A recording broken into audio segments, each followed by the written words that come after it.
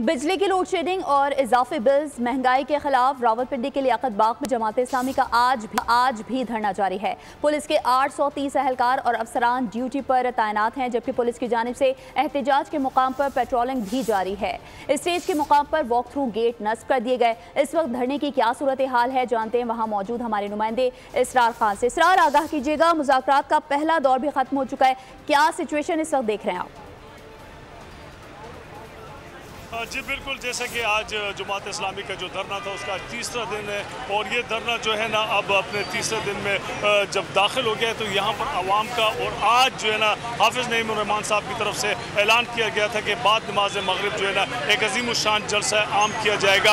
आवाम की जो है आमद का सिलसिला यहाँ पर जारी है, और मेरे पीछे अगर आप देखें तो पंडाल सज चुका है वो मुकामी रहनुमा यहाँ पर मौजूद है, और जो कि तकारीर वगैरह कर रहे हैं, और शुरा की अगर हम बात करें तो बहुत ज़्यादा इस वक्त हालाँकि धरना शुरू होने में काफ़ी टाइम है, लेकिन उसके बावजूद आवाम के जम में गफीर नज़र आ रहा है। दूसरी जानब अगर देखा जाए तो मुजाकराती कमेटी जो थी जमात इस्लामी की, वो लियाकत वो लियाकत बलोच साहब की सरबराही में कमिश्नर हाउस में गई थी और जहाँ पर हुकूमती मुजाकराती कमेटी के साथ उनका जो आज पहला दौर मुकम्मल हुआ उसके बाद जो है ना मुजाकरात के बाद लियाकत बलोच साहब ने मीडिया से बातचीत करते हुए ये कहा कि हमने अपने तमाम दस मुजाक, जो नुकात है वो हुकूमती कमेटी के सामने रख दिए हैं। हुकूमत की जानब से एक टेक्निकल कमेटी बनाई जाएगी और उसके बाद मुजाकर का दूसरा दौर शुरू होगा। और सिक्योरिटी के हवाले से अब हम यहाँ पर बात करेंगे तो यहाँ पर पुलिस की जानब से जो है ना सिक्योरिटी का काफ़ी बड़ा अहतमाम किया गया है।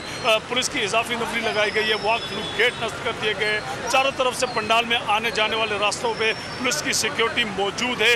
और हाफिज़ नईम रहमान साहब और लियाकत बलोच साहब का इंतज़ार है। उसके बाद बाकायदा यहाँ पर जलसा जो है ना, उसका आगाज़ हो जाएगा। एक बात और भी बताता चलूँ, लियाकत बलो साहब ने यह भी कहा है कि मुजाकर का आज का जो दौर है, वो काफ़ी पुरमन माहौल में और बड़े अच्छे माहौल में रहा।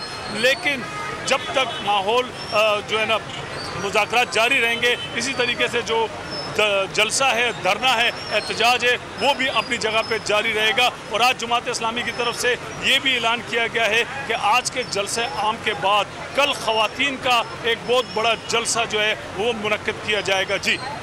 इसरार गिरफ़्तार कारकुनान के हवाले से भी बताएगा क्या बातचीत हुई है और कब तक रिहा किया जाएँगे?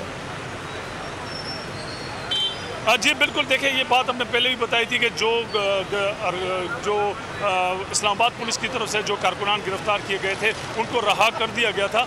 लेकिन पंजाब के मुख्तलिफ़ शहरों में जो 35 से 40 जो कारकुनान है या मजीद उससे ज़्यादा है, उनकी तरफ़ से मोहसिन नकवी साहब ने ये बावर कराया था कि उनको जो है ना रहा कर दिया जाएगा, लेकिन अब तक उस पर अमल दरामद नहीं हुआ है। और आज मुजाकर में ये पॉइंट रखा गया है कि हमारे तमाम जो गिरफ़्तार कारकुनान हैं उनको फ़ौर रहा किया जाए ताकि इस जो है ना माहौल को बेहतर बनाया जा सके और मुजाकर को हम आगे की तरफ़ लेकर जाए। जी।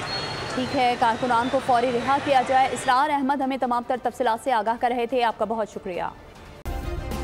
सब्सक्राइब करें और बेल दबाएँ ताकि कोई खबर रह न जाए।